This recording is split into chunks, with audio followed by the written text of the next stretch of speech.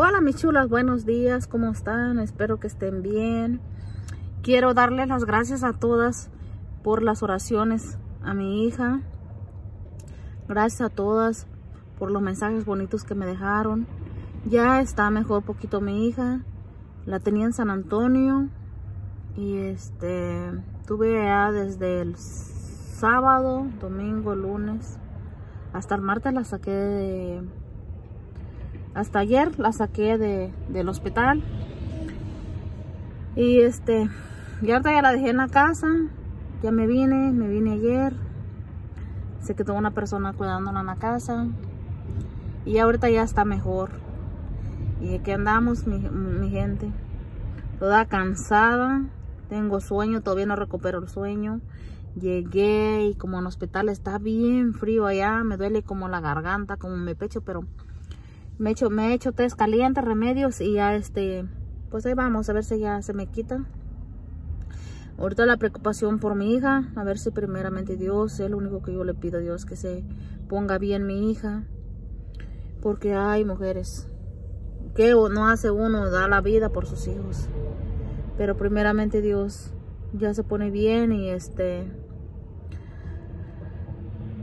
no hay más que ponernos en manos de Dios y este pues estar con el pendiente ahorita a ver que no baja la guardia. Para que se haya tomando sus medicinas y me vine porque tengo que trabajar. Tengo que trabajar como quiera porque ella ahorita no va a poder trabajar. Estarle comprando sus medicinas y todo eso y luego las medicinas están carísimas. Pero échale ganas mujeres. Y aquí andamos ando cansada ando torcida de mi espalda. Ay, no. Pero aquí andamos y ahorita con esa, con esas enfermedades del, del virus, esa que anda. Ay, Dios mío, ya uno con miedo, mujeres. Pero aquí andamos echándole ganas, hay que echarle ganas.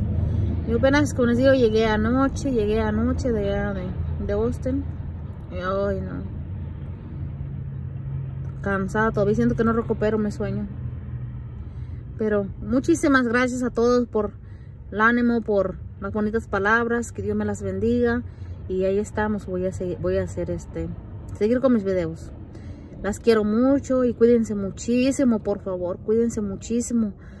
Si salen, pues pongan su mascarita, pero pues uno pasa con sus mascaritas, ¿me entiende? Y no, este, pues así se enferma.